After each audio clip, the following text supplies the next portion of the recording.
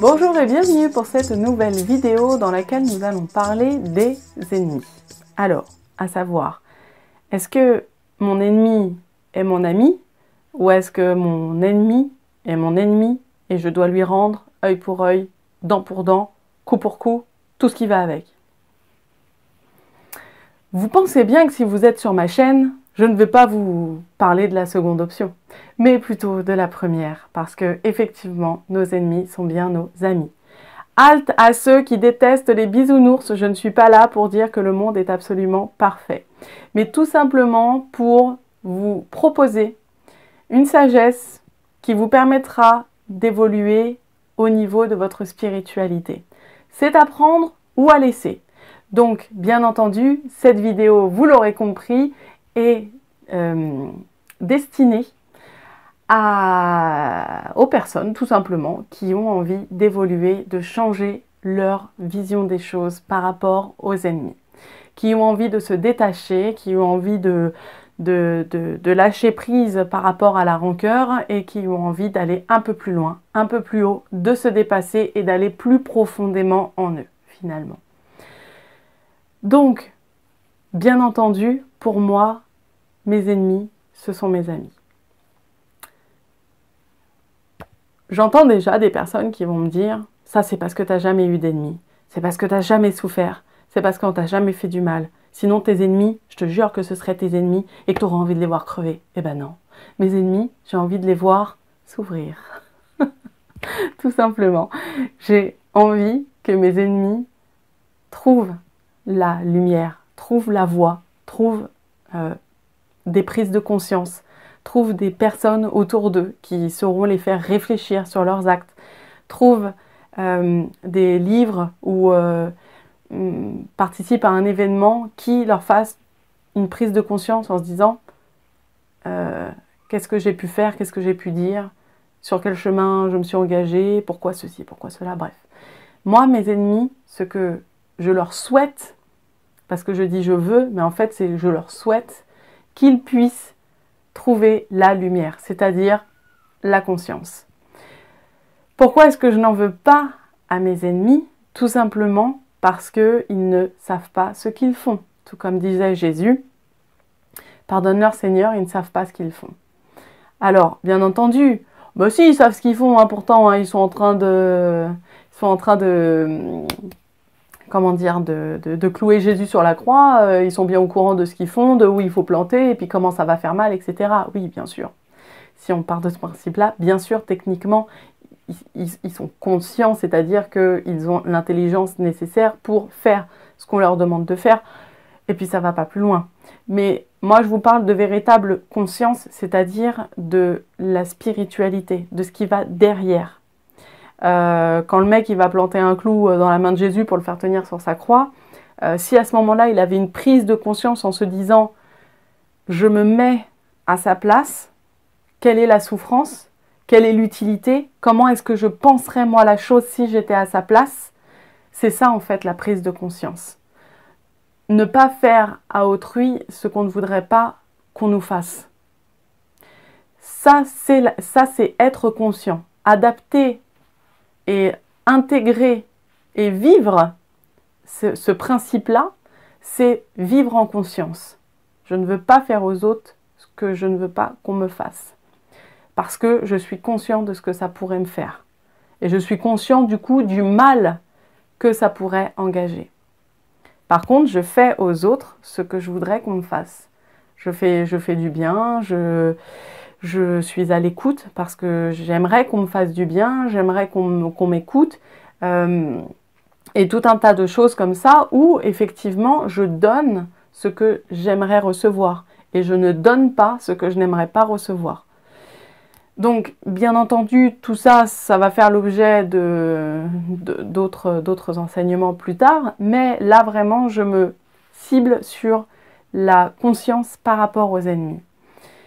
Moi, en tant que... En tant que... Comment je pourrais me définir euh, En tant qu'être humain, euh, j'ai une vie sociale hum, que j'ai choisie. Donc euh, j'ai choisi de me mêler et pas de vivre en ermite. D'accord? Et donc moi, en tant que individu euh, social, eh bien, il y a des personnes forcément qui m'ont aimé, d'autres qui ne m'ont pas aimé. Et encore jusqu'aujourd'hui. Et encore demain, ça se passera. Parce qu'on ne peut pas plaire à tout le monde. Et qu'il y a une forme d'ego dans tout ça. On en veut à ces personnes-là de nous faire du mal, déjà premièrement parce qu'elles ne nous aiment pas. Et comment ça se fait qu'on ne nous aime pas?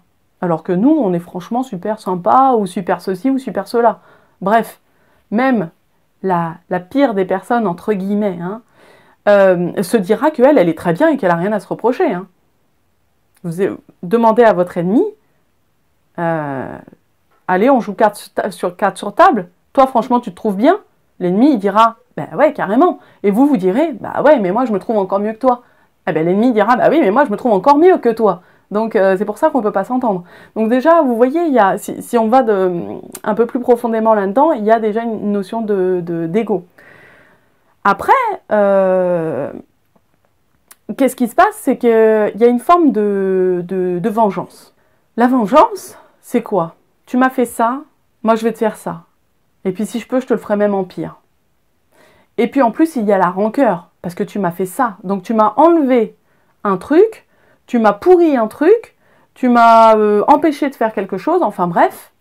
Du coup, vraiment j'ai la rage contre toi. Donc, je vais vais vraiment essayer de te faire encore pire. Et puis si je peux te pourrir derrière encore plus, ben je le ferai. Je vais parler sur toi. Je vais euh, essayer de, ne plus diriger les gens vers toi.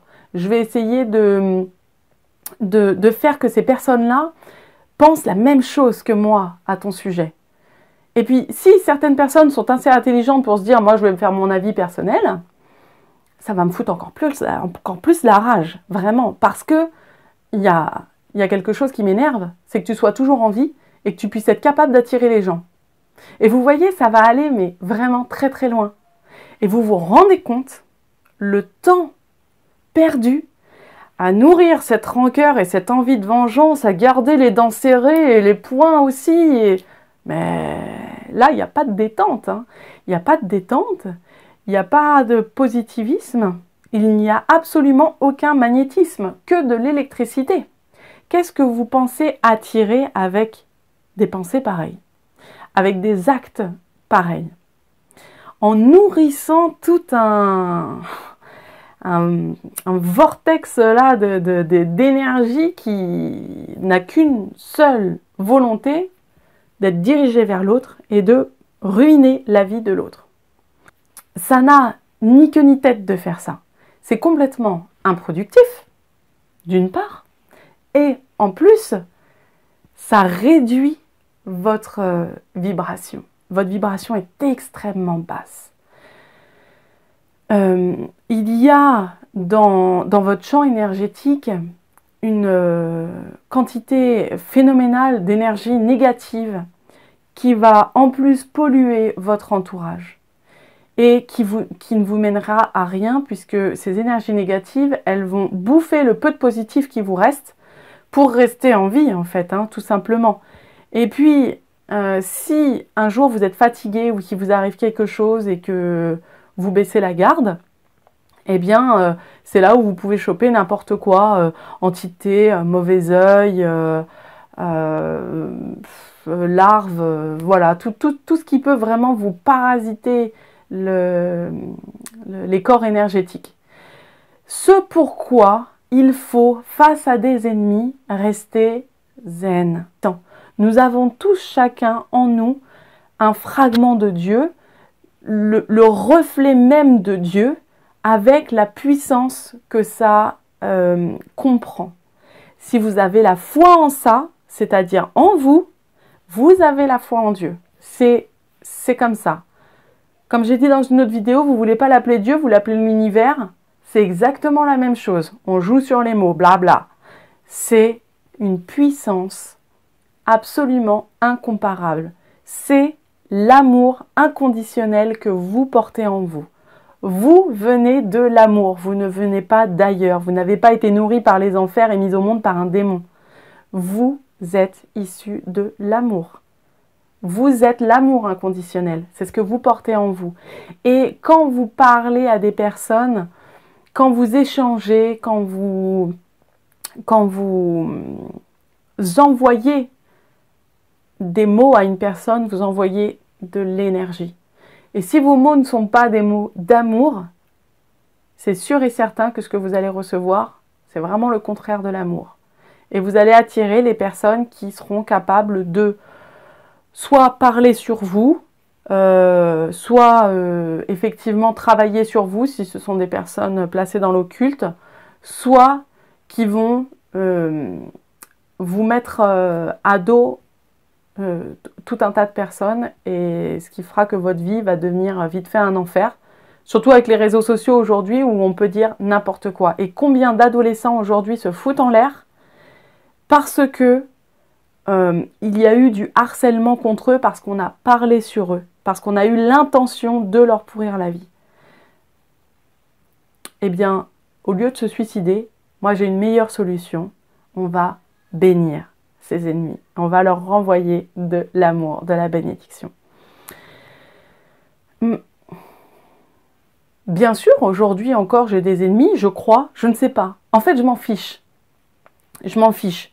Mais comme je sais que je ne peux pas plaire à tout le monde et que j'en suis tout à fait consciente, eh bien, je ne cherche pas à savoir si j'ai des gens qui m'aiment ou si j'ai des gens qui m'aiment pas.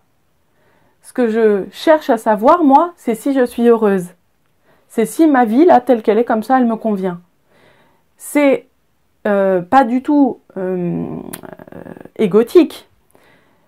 C'est de se centrer sur sa lumière. Parce que si ma lumière est euh, je dirais, de bonne qualité, bah, il y a de grandes chances à ce que d'autres personnes soient heureuses. Parce que j'arriverai à donner le meilleur de moi-même.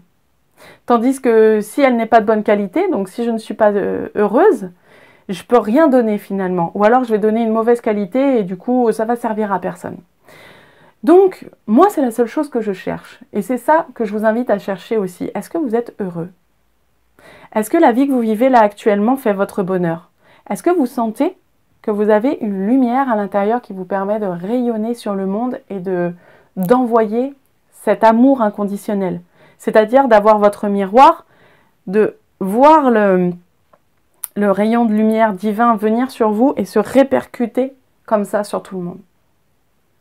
Si la réponse est non, il va falloir travailler sur vous-même, travailler le pardon et justement penser que vos ennemis soit sont euh, inexistants, si vous n'êtes pas au courant, ou que tout simplement, il est nécessaire d'envoyer des bénédictions quotidiennement à vos ennemis.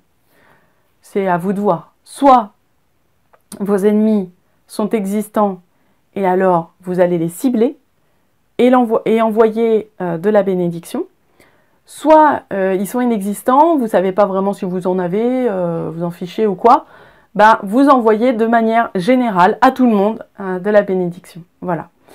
Euh, si j'ai un ami, un, ennemi, euh, je sais qui c'est, que je vais le cibler, je vais dire son nom, son prénom, je vais le visualiser.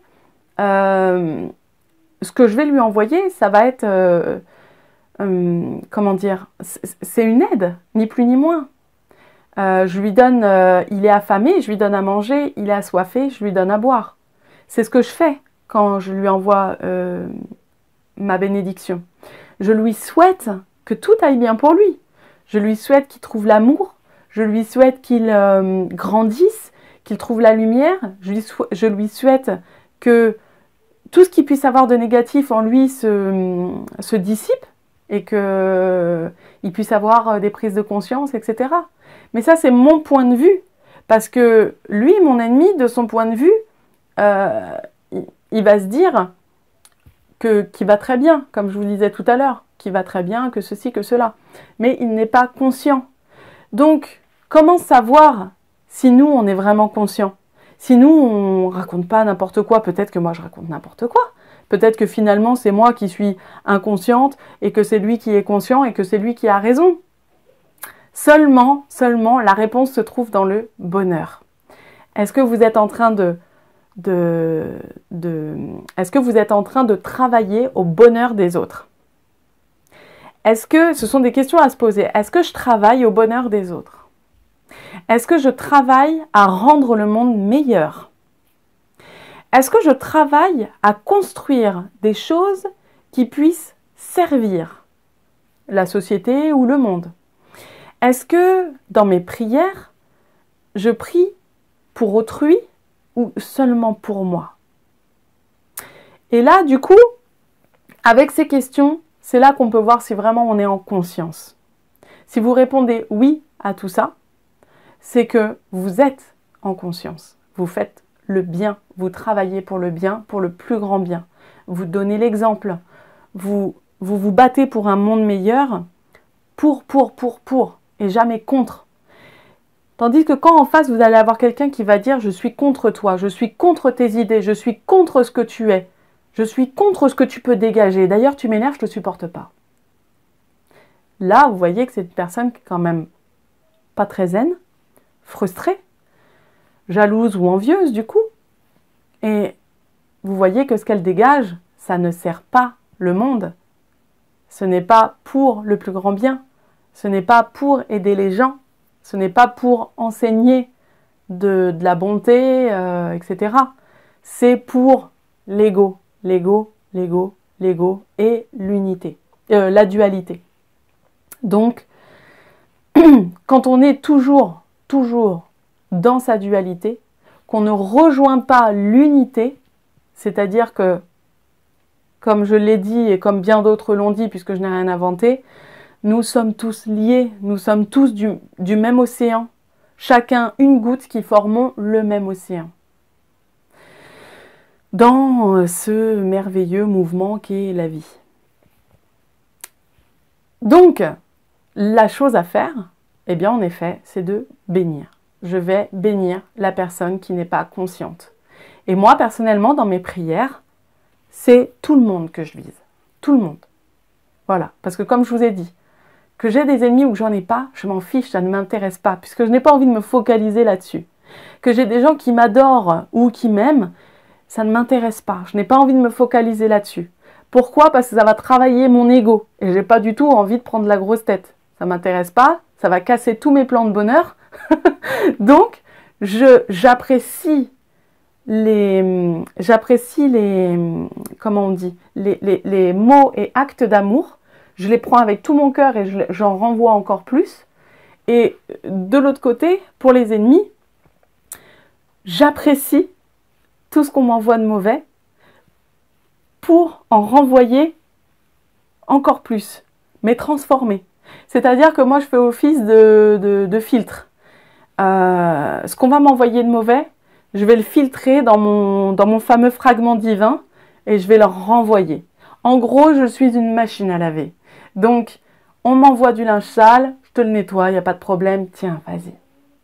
Mets-le. Tu, tu vas sentir bon, tu vas être tout beau, ça va être propre, vas-y, mets-le. Et en plus, c'est plein d'amour, tu vas voir.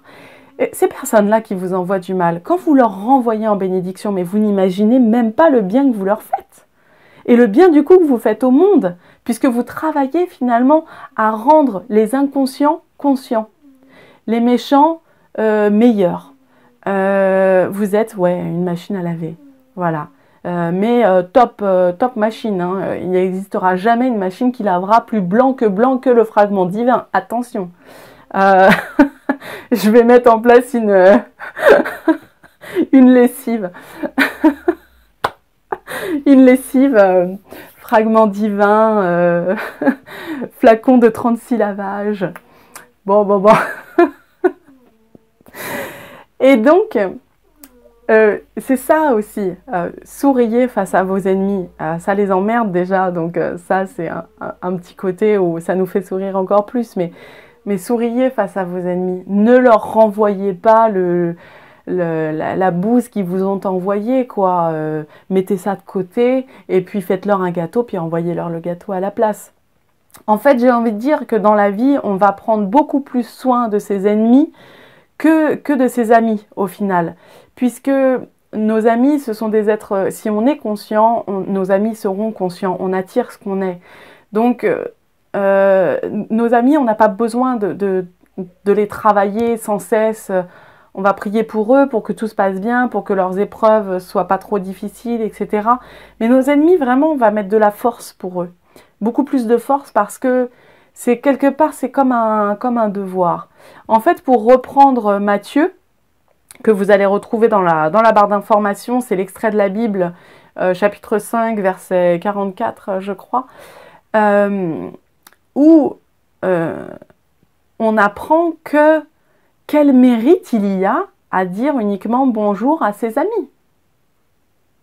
Quelle, quelle, joie, quelle gloire en fait on a à tirer finalement de, de, privilégier toujours ce qui est beau et bien et tout ça parce que ça nous conforte euh, euh, par rapport aux ennemis où vraiment on va ignorer euh, rejeter, etc. Il n'y a aucune gloire. On ne se dépasse pas spirituellement à n'entretenir que ses amis. Et c'est pour ça que faire de ses ennemis des amis, c'est-à-dire les traiter comme on traite nos amis, c'est faire preuve de grandeur, d'élévation spirituelle. C'est faire preuve de pardon, de compréhension, de conscience c'est vraiment s'élever au-delà de, de, tout ce qui est superficiel et qu'on a là actuellement. C'est vraiment pouvoir euh, agir en tant qu'être spirituel. On agit vraiment en tant qu'être spirituel quand on donne à nos ennemis la même chose qu'à nos amis. Alors oui, il y en a, ça va être parfaitement impossible, on leur a fait trop de mal, ça a touché leurs enfants, ça a touché euh, leurs animaux, ça a touché leur, euh, leur passion, ça a touché leur corps. Et c'est terrible. Il y a des histoires qui sont absolument terribles. Mais si vous arrivez à dépasser tout ça, à, à pratiquer un pardon, ne serait-ce que sur vous-même, pardon de penser, de, de pardon de, de, de ne pas arriver à pardonner, pardon de vibrer si bas parce que je souffre, parce que j'ai mal, mais comme je le reprends souvent hein, de ce que Bouddha a dit, la douleur est inévitable, la souffrance est facultative. Quand vous avez eu votre douleur, la moindre des choses, c'est de remercier euh, Dieu de vous avoir envoyé cette épreuve parce qu'elle est là pour vous faire vous dépasser, pour aller plus loin que ce que vous vivez ici, ici bas. Parce que vous n'êtes pas que des êtres de chair qui sommes là pour consommer, pour ah tiens c'est Noël, on va acheter le saumon, on va ceci. Non, vous êtes là pour aller plus haut, plus loin, plus profond. Et c'est à ça qu'il faut travailler quotidiennement. Et c'est ça aussi la foi, c'est d'avoir la certitude que là, tout de suite, dans la douleur, je sais que ça va déjà mieux. Parce que demain, je vais en sortir grandi. Parce que demain, mon ennemi, peut-être, pourra prendre conscience, etc., etc. Et pour terminer euh, cette vidéo, je vais prendre une histoire que j'ai hum, trouvée euh, sur Internet il y, a, peu de temps et qui m'a vraiment, euh, qui m'a vraiment parlé parce que pour moi, ça semble tellement naturel. Et pourtant, c'est une histoire très douloureuse. C'est un jeune homme aux États-Unis, c'est un jeune homme de 14 ans qui en a tué un autre. Coup de revolver. Euh, la mère, devant le cadavre de son fils, euh, était vraiment euh, dans une immobilité totale. Et d'un coup, cette femme s'est levée, a regardé droit dans les yeux ce jeune homme de 14 ans qui venait d'abattre son fils, et lui a dit je te tuerai. Crois-moi, je te tuerai. Et elle est partie. Les obsèques passent. Le jeune homme de 14 ans va en prison. Et quelques mois passent et on demande à le voir au parloir. Et il arrive et il se trouve qu'au parloir, c'est la mère du garçon assassiné. Alors, il prend un peu peur parce qu'il se souvient très bien de ce qu'elle lui a promis. Et elle lui dit non, non, non, non, non, non, t'inquiète pas, assis-toi. Assis-toi. Tout va bien. Est-ce que tu as assez d'argent? Est-ce que tout va bien pour toi ici? Elle dit que bah ça va pas très bien, que c'est pas la fête, il n'est pas là pour se faire des copains non plus, et qu'il n'a pas d'argent pour s'acheter des cigarettes. Alors, elle lui fait passer de l'argent pour qu'il s'achète des cigarettes. Et elle revient le voir tous les mois, comme ça, jusqu'à sa, jusqu'à sa majorité, je crois, ou en tout cas, voilà, il y reste quelques temps. Et tous les mois, elle vient le voir et elle lui apporte des vêtements, elle lui apporte euh, des petites friandises, des choses comme ça. Et puis arrive un moment où euh, bah, il doit sortir et elle lui demande Est-ce que tu as un travail? Qu'est-ce que tu fais quand tu vas sortir? Qu'est-ce qui va se passer? Et il dit Je n'ai personne. Je n'ai personne qui veut de moi. Euh, mon gang m'a rejeté. Donc je n'ai personne, je ne sais pas où aller. Elle a dit très bien, euh, j'ai un, travail, euh, je, peux, je, peux, je pense, obtenir un travail euh, chez un ami. Et elle obtient ce travail et le garçon sort, le jeune homme sort de prison et il arrive à avoir donc ce travail. Et puis elle lui dit Est-ce que tu as quelque part où dormir? Il dit Non, je n'ai personne, tout le monde m'a rejeté donc je ne sais pas où dormir. Et elle lui dit Écoute, j'ai une chambre de libre, comme tu le sais. Donc si tu veux, tu peux l'occuper le temps que tu trouves quelque chose. Donc il, hésite, mais elle lui dit, s'il te plaît, elle est libre. Donc il, accepte et ils vivent comme ça quelques mois, six mois ensemble. Il vit dans la chambre du fils qu'il a tué. Et il arrive à avoir un travail et il arrive à se refaire. Et donc au bout de six mois, elle lui dit, Qu'est-ce que, tu vas faire maintenant? Qu'est-ce que tu veux faire de ta vie? Qu'est-ce qui s'organise Puis il lui dit bah, qu'il va peut-être prendre euh, une chambre quelque part, qu'il va se débrouiller avec le petit salaire qu'il a. Euh, parce que bon, bah, personne ne lui a pardonné autour de lui et euh, bon, bah, il est perdu. Et là, la mère lui dit, voilà, parce que moi, je voudrais te poser une question. Est-ce que tu veux avoir une mère? Est-ce que tu veux bien que je t'adopte? Et là, euh, le jeune homme, il, tombe des nues. Il dit, mais j'ai tué votre fils. J'ai tué votre fils, pourquoi vous voudriez m'adopter? Je suis un assassin. Je vaux rien. Et la mère, elle dit, tu te souviens quand j'ai dit que je te tuerais? Et crois-moi, j'ai réussi. Je t'ai tué j'ai tué ce gosse qui était en gang et qui voulait faire la loi dans la rue et qui a tué mon fils. Celui-là, je l'ai tué. Et ce que tu es aujourd'hui, c'est toi et toi-même dans ta grandeur. Et tu as la foi et je t'ai pardonné et tu n'es pas mon ennemi. Donc si tu veux, je t'adopte et tu deviendras mon fils. Aujourd'hui, c'est sa maman. Donc comme quoi, on peut pardonner le pire. C'est possible. Il y a des exemples ici-bas. La douleur est inévitable, la souffrance est facultative. Derrière la douleur, derrière la trahison, derrière tout ce qui fait que l'ennemi euh, s'est déclaré en tant que tel, on peut, nous, derrière, tuer cet ennemi pour en faire un ami sans forcément aller en boîte ensemble et boire des verres ensemble et puis euh, se voir et euh, mais au moins le transformer en ami pour le monde pour que lui aussi puisse se réveiller et faire du bien autour de lui, faire du bien dans le monde, faire du bien à lui-même, à commencer par lui-même pour faire ce bien dans le monde. Donc voilà, j'espère que cette vidéo vous aura permis de voir les ennemis sous un angle différent, que euh, mon expérience ne vous paraît pas trop idéaliste, puisque elle l'est. Et aujourd'hui, je peux dire moi personnellement que je suis heureuse, même si euh, dans ma vie de tous les jours, euh, j'ai mes aléas d'être humain et qu'il y a la société et tout ça, machin. Ça, ça, ce n'est rien par rapport au bonheur intérieur que l'on peut avoir. Quand on est en, vibration haute et en harmonie avec ceux qu'on aime. Ça, c'est vraiment le plus important et c'est ce qui vous gardera d'ailleurs en bonne santé.